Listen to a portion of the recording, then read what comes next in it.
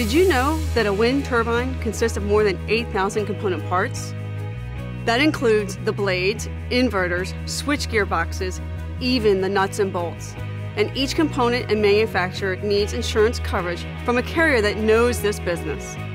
I'm Eileen Kauffman. I lead Travelers Renewable Energy practice that serves technology companies. We insure wind turbines and a whole lot more.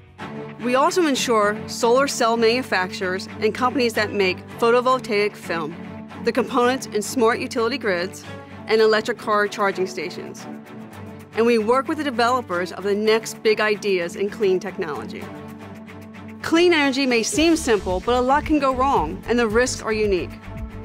Lightning is a huge issue for wind turbines. Blades can fly off, a ruined switchgear box can cost up to $1 million to replace, solar panels can catch fire, a smart utility grid can be knocked out by a hurricane.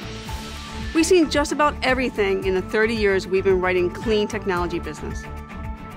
Clean tech is a rapidly growing field and it's always changing. We're always looking for the next big development, like a new fuel source or solar cells embedded in roads. Our job is to think about the risk implications of all that. That's what makes this business so exciting. That's what energizes me.